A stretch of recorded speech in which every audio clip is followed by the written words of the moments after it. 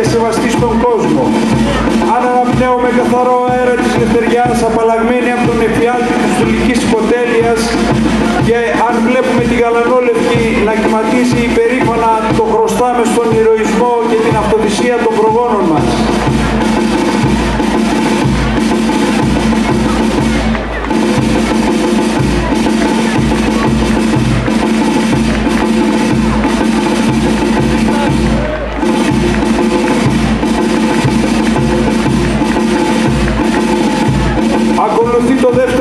Τρικάλο.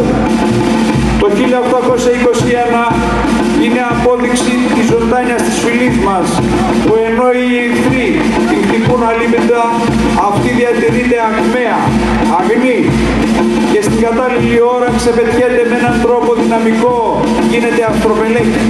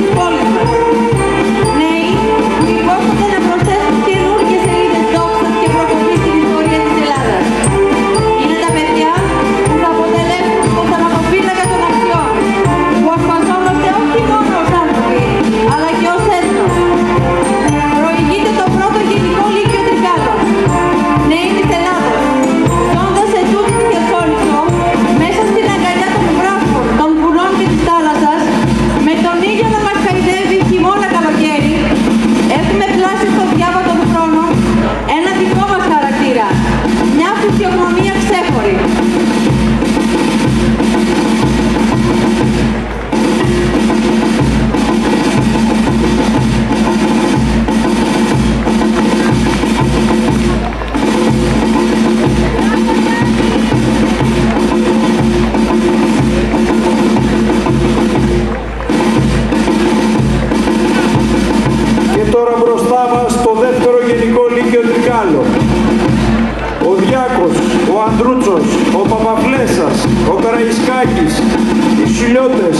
Οι άλλοι βρέθηκαν δίπλα στους 300 τους Λεωνίδα, στον Μιλκιάδη, τον Μεγαλέξανδρο, δίπλα σε όλους αυτούς που έζησαν, πολέμησαν και πέθαναν για την Ελλάδα. Με τη θυσία τους έγραψαν το όνομά τους με χρυσά γράμματα στις σελίδες της ελληνικής ιστορίας.